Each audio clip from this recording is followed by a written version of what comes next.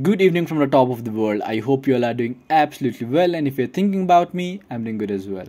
In this video, I'll teach you guys how to edit a post or delete a post on Reddit that you have already posted or want to change anything you'd like or want to delete it for any specific reason.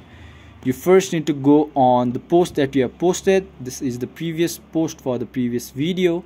You can check that out on our description so after you are here if you want to edit or delete this post you need to search for the three dot icon which will be at the top right corner right here.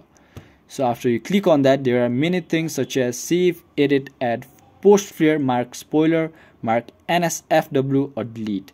If you want to edit you can click on the edit button and you can write or delete anything you want.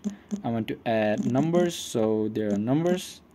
So after you have edited the post that you like you need to click on the save and it's updating and it's done now. So you guys can see the number which was not displayed before it is displayed now.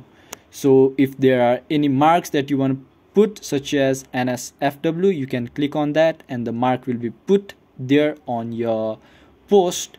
And if you want to delete which is the main thing from this video you just need to click on this three dot icon again. And at the bottom there's delete. You just need to click on that.